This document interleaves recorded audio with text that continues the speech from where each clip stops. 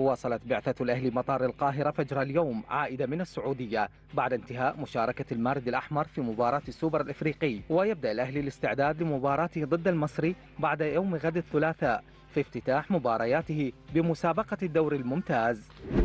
يفتقد فريق الأهلي لجهود لاعبه حسين الشحات في مواجهة المصري البورسعيدي المقبلة في الدوري. بسبب عقوبة الإيقاف وقررت رابطة الأندية إيقاف حسين الشحات مباراتين وتغريمه 20 ألف جنيه بسبب ما بدر منه في مباراة بيراميدز طبقا لقائمة العقوبات. أمطر فريق ناشئي الأهلي مواليد 2008 شباك أسوان بتسعة أهداف دون رد ضمن منافسات الجولة الثانية من بطولة الجمهورية. بهذا الفوز رفع أهلي 2008 رصيده إلى ستة نقاط من الفوز في مباراتين على التوالي. حقق فريق الأهلي لكرة اليد سيدات فوزا كبيرا على فريق البنك الأهلي بنتيجة 43 نقطة مقابل 16 ضمن منافسات بطولة منطقة القاهرة والتي أقيمت على صالة الأمير عبد الله الفيصل بمقر النادي في الجزيرة.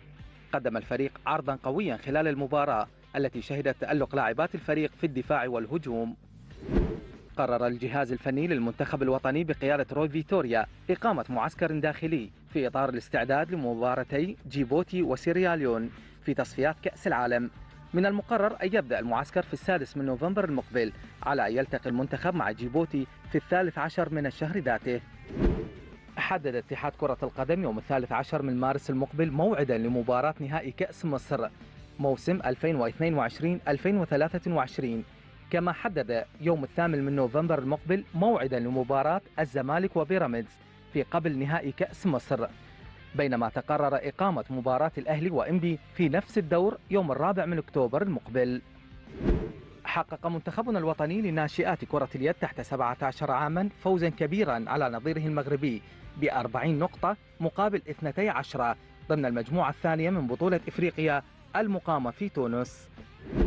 احتفل نادي ليفربول بمساهمة النجم المصري محمد صلاح بأكثر من 200 هدف في الدوري الإنجليزي الممتاز بعدما قاد فريقه إلى الفوز المثير على وولفرهامبتون بثلاثة أهداف لهدف. كما نشر الحساب صورة لمحمد صلاح خلال مسيرته مع ليفربول. أكد الأرجنتيني بوكيتينو مدرب تشيلسي أنه غير قلق بشأن وضعية فريقه في جدول ترتيب الدوري الإنجليزي. وذلك بعد التعادل السلبي مع بورنموث رغم أن فريقه تشيلسي يحتل المركز الرابع عشر في جدول الترتيب تعرض فريق إنتر ميامي الأمريكي لهزيمة ثقيلة أمام أتلانتا يونايتد بخمسة أهداف في المباراة التي شهدت غياب النجم الأرجنتيني ليونيل ميسي ضمن منافسات الدوري الأمريكي لكرة القدم. أظهر فريق أولمبيك مارسيليا الفرنسي تضامنه مع ضحايا كارثتي المغرب وليبيا بارتداء قميص يحمل شعار الدولتين خلال مواجهة الفريق أمام تولوز. وأشار الحساب الرسمي لمارسيليا إلى أنه سيتم بيع تلك القمصان عقب المباراة على أن يتم التبرع بعائداتها لإحدى المنظمات المنوطة بمساعدة المتضررين في الدولتين.